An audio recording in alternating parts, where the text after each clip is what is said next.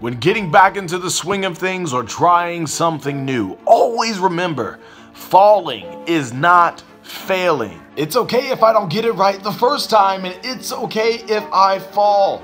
Because that shows me one thing at least I'm not standing still and I'm moving towards something. See, movement is key when I finally set my mind to do something great.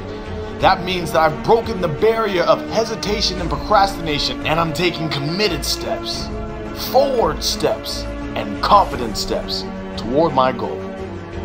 You have to surround yourself with positive, like minded people to keep you going every single day.